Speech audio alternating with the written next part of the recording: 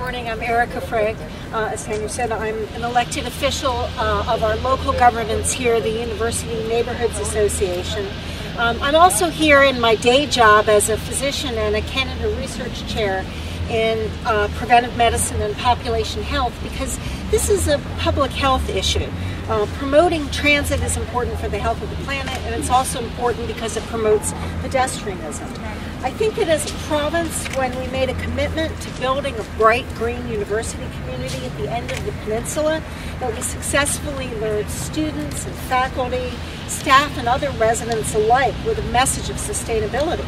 But occasionally we have to leave our bright green campus and better rapid transit is an essential component of fulfilling the province's mission of making UBC and the UNA, making our experience a bright green one. We've made a lot of progress, as other speakers have cited, in the quantity of use of mass transit in UBC and TransLink to be commended on this. But without continued progress in transit, UBC and the University Neighborhoods Association's aspirations for carbon neutrality ignore the transportation element. It's time to make a better transit system to this bright green community that our province and we together are building. Thank you.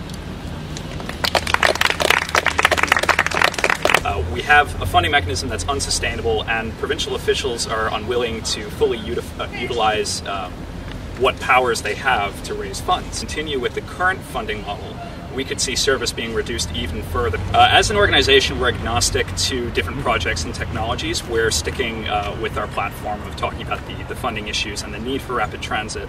Um, certainly, there have been proposals put forward that we support, um, but we're trying to look at this more from staying outside the realm of talking about. Uh, you know, whether we could use heavy rail, light rail, whether uh, Surrey should move first, or whether the Broadway line should move first. We want to stick to the real issue at hand, which is the sustainable funding model.